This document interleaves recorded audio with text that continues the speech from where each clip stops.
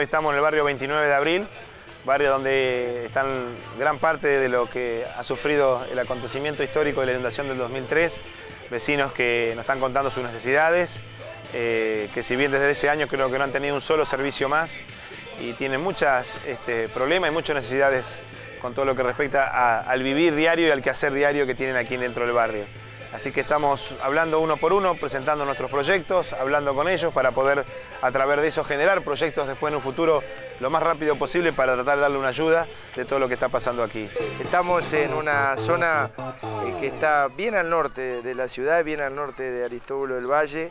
Andamos caminando por el barrio 29 de abril, uno de los barrios que se construyó producto de la inundación.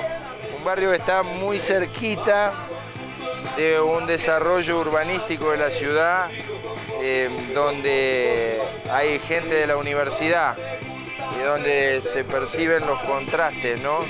de un sector de clase media con una urbanización importante y estas casas que en principio eran de plástico y ahora muchas se han consolidado a través de, la construcción de los propios vecinos y donde quedan muy pocos vecinos eh, de los que originariamente recibieron la vivienda. Hay mucha gente de otros barrios que se ha venido a esta zona, sobre todo gente de Pompeya. Hay un dispensario que solo está abierto de lunes a viernes y de mañana.